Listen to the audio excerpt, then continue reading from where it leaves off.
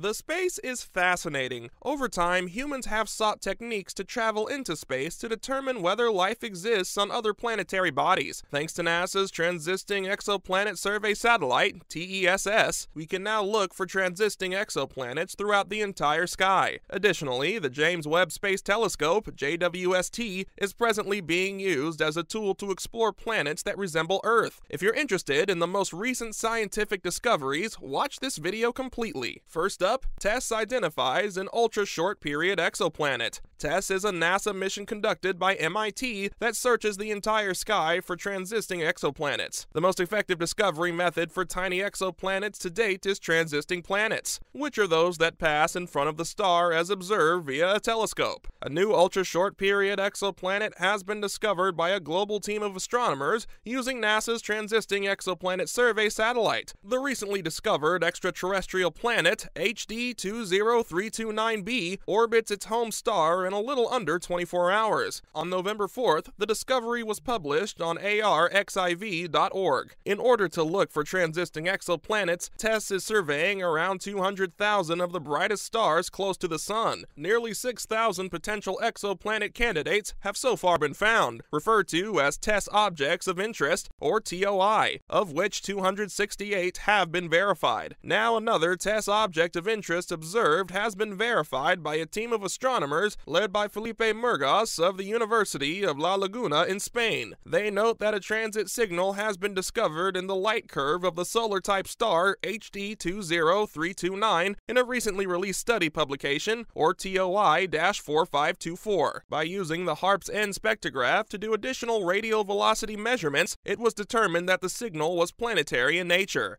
According to the paper, they reported the identification of HD 20329b, an ultra short period planet surrounding a brilliant G type star, with a radius of 1.72 Earth radii and a mass that is roughly 7.42 times greater than Earth's. HD 20329b has a mean bulk density of about 8.06 grams per cubic centimeter. This exoplanet completes an orbit around its host star in around 22.2 hours. The findings indicate that HD 20329b is only 0.018 AU from the star and that its equilibrium temperature is predicted to be 2000 K. Therefore, HD 20329b joins roughly 30 ultra short period USPs with radius and Doppler mass measurements as the most recent addition to the list of about 120 known ultra short period exoplanets. The authors of the research did not rule out the potential that the HD 20329 system contains other objects, but additional observations are needed to establish this. The astronomers noted that the radial velocity residuals exhibited a slope that might imply the presence of an additional low mass object orbiting HD 20329 after subtracting the planetary signal of the planet from the radial velocity observations. They continued saying the emission spectroscopy measurements for HD 20329b shows that the planet offers ideal circumstances for secondary transit follow up with NASA's James Webb Space Telescope. The study determined the host star HD 20329's physical characteristics, including its radius, which is approximately 1.13 solar radii, and its mass, which is roughly 10% smaller than the Sun. It was discovered that the star is 11 billion years old and has a metallicity of negative 0.07 and has an effective temperature of 5,596 K. The system is thought to be located about 207.6 light years away.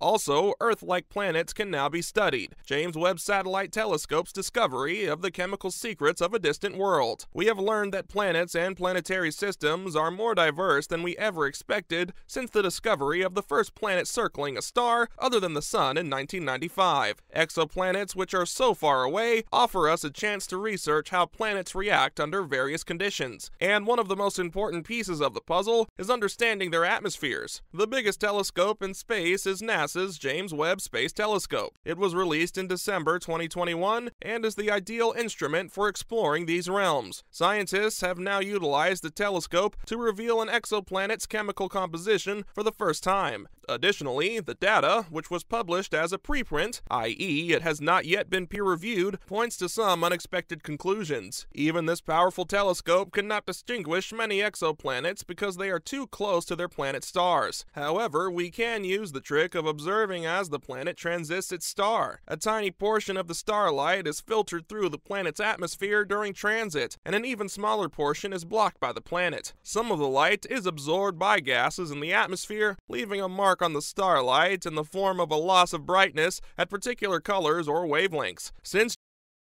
is an infrared telescope, it is especially well suited for studying exoplanet atmospheres. Instead of visible light, the majority of gases in an atmosphere, including water vapor and carbon dioxide, absorb infrared. According to a member of a global group of exoplanet scientists, they are utilizing JWST to investigate WASP-39b, a planet about the size of Jupiter. However, unlike Jupiter, the world orbits its star in just a few days, which causes it to be roasted in temperatures of almost 827 degrees Celsius. This provides them with the ideal chance to investigate how a planetary atmosphere reacts in extremely hot conditions. The most comprehensive spectrum of this interesting planet has been recovered by JSWT. In actuality, their research serves as the planet's first chemical atlas. They already knew that helium and hydrogen, the two lightest and most prevalent gases in the cosmos, would make up the majority of the atmosphere of this massive planet, and the Hubble telescope has already found found sodium, potassium, and water vapor there. They could now quantify the quantity of water vapor and validate their initial observation. The information also indicated the presence of additional gases such as carbon dioxide, carbon monoxide, and surprisingly, sulfur dioxide. Also, they could estimate the relative proportions of the gases' constituent elements hydrogen, oxygen, carbon, and sulfur by measuring how much of each of these gases is present in the atmosphere. They anticipate that varying amounts of of these elements will be available to a baby planet at various distances from the star because planets develop in a disk of dust and gas surrounding a young star. Compared to its present very close orbit, WASP 39b appears to have a very low carbon to oxygen ratio, suggesting that it likely formed at a distance from the star where it could have easily absorbed water ice from the disk, raising its oxygen. If this planet moved, it could aid in the development of our theories on planet formulation and would lend credence to the notion that the massive planets in our solar system also underwent significant shaking and movement during their early evolution. Next up is the sulfur content of WASP 39b. For WASP 39b, the amount of sulfur they found in relation to oxygen was quite high. In a young planetary system, sulfur should be more prevalent in the rock and debris than in the atmosphere. This suggests that WASP 39b may have experienced an unusually high number of collisions with rock fragments fragments that contain sulfur. That sulfur would release some of its gas. Depending on how hot it is, different compounds react with one another differently in a planet's atmosphere. The reactions usually balance one another out, settling into an equilibrium state where the total amounts of each gas stay steady. For a variety of beginning points, they were able to foresee the gases that would be present in the atmosphere of WASP-39b. However, none of them discovered sulfur dioxide because they thought that any sulfur present would be trapped in in a separate gas, hydrogen sulfide. The process known as photochemistry was the final component of the chemical jigsaw puzzle. This occurs when the energy from photons or packets of light originating from the star drives the rate of some chemical reactions rather than the atmosphere's temperature. They didn't anticipate photochemistry to be as significant as it has proven to be because WASP-39b is so hot, and reactions often accelerate at higher temperatures. According to the data, light splits at atmospheric water vapor into oxygen and hydrogen, following their interaction with the gas hydrogen sulfide. These compounds would eventually take the hydrogen from the gas and replace it with oxygen to create sulfur dioxide. So, what comes next for JWST? Since the ozone layer on our planet is created through a photochemical process, photochemistry is even more crucial for cooler planets that may be habitable. During its first year of operation, JWST will be observing the rocky worlds in the TRAPPIST 1 system.